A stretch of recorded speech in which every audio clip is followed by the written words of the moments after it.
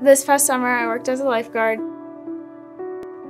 And um, one Sunday, God spoke to me through one of Pastor Matt's messages and nudged me to share my faith with my coworker that night. I was nervous, but um, I just brought it up by saying, like, what do you think about God? How do you do you believe there is a God?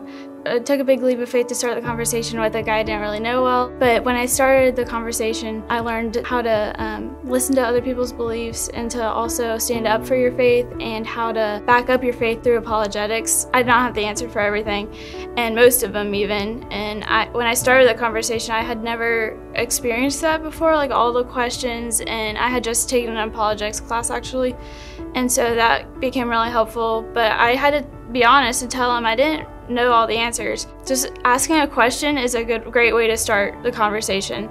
Um, like, what do you believe about heaven? Or what do you believe about God? Or do you think He's real?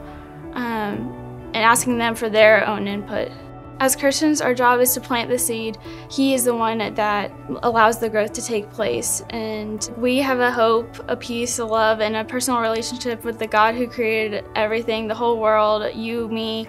So why hide that amazing truth and keep it to yourself? Like, don't be ashamed of the Jesus you know.